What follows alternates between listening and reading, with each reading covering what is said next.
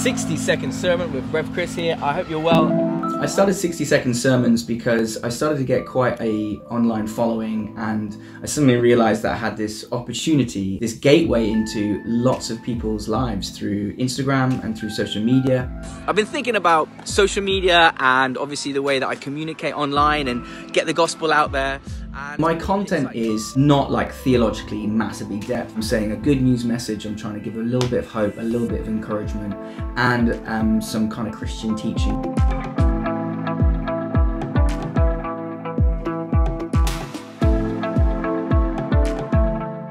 Hey guys, 60 second sermon with Rev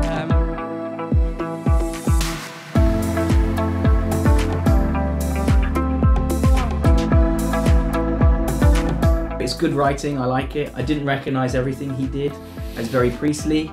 I hope people follow me because of my content and not because uh, they think, oh, he's just a hot priest. I think they follow me or they at least stay with me because they, they get something from my Instagram.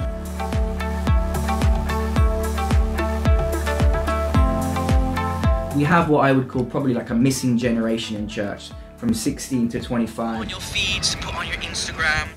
My oh, major following is that exact bracket. Christ keeps his word from age to You see at church on Sunday, new people coming in, and when you say, "Oh, welcome," like, "Where are you from?" and and they're like, "Oh, well, we watched Chris on Instagram, and we just wanted to see what's going on."